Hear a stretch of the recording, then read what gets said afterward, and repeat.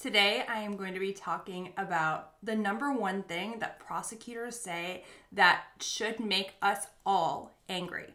My name is Veronica. I am a criminal defense attorney here in Los Angeles, and I help people who have been arrested put their criminal cases behind them so that they can enjoy their lives and their freedom. Okay, so this video is about the number one thing that I hear prosecutors say that oh, makes me so angry and should make all of us angry too. And that is a trial is about finding the truth. Now, when they say that, they say it as though it's this grand statement that sort of pumps them up and shows that they are the most fair. It may seem innocuous to you. It may even seem fair. Trials about finding the truth. Can you convince the 12 jurors or not? Here's why it freaking sucks and why I think it's absolutely ridiculous.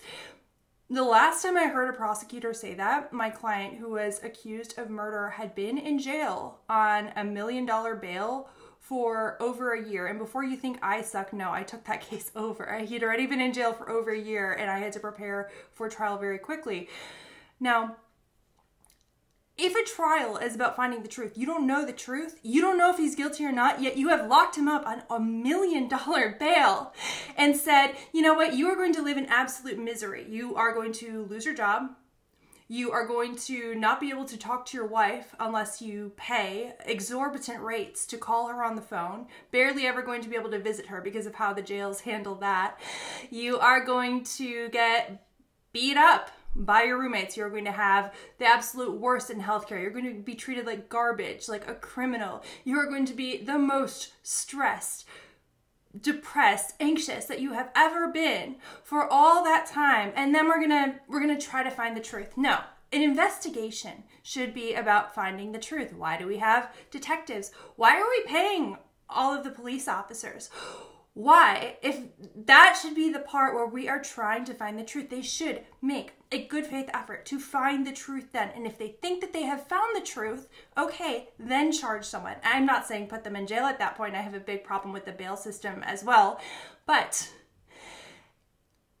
we should not be using trials. And uh, I forgot something else. You've also used your life savings on attorneys at this point. Second lawyer in that case, murder case, you've used your life savings and you're lucky, you know, if you had the means to even do that. It should not be about finding the truth. Do a better job with your investigation in the first place. If you need to find experts to analyze DNA, to analyze the murder weapon, you should be doing that as part of the investigation phase. You should be doing that at the beginning before you make the arrest. But that is how things work, at least here in Los Angeles. If you're not in Los Angeles, I or Southern California, maybe things are better where you're from. But you know, I practiced in Illinois too under someone else's license as a law student, and I think it was about the same there too. Um, this is a real problem. And, you know, even as jurors, like what, you're sitting there to, it's your job to find the truth because nobody else tried to find it before.